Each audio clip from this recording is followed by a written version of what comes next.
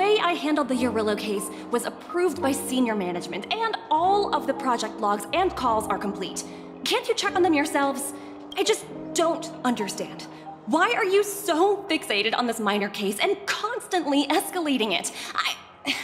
Seriously, what's your purpose? Sounds exhausting. Why not just hang up?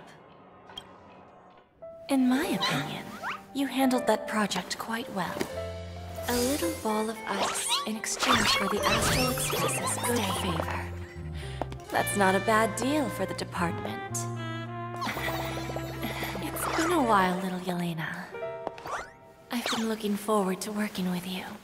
Never imagined this day would come so soon. Is there trouble? You can tell me anything. Just like old times. It's been a while, Madam Jade.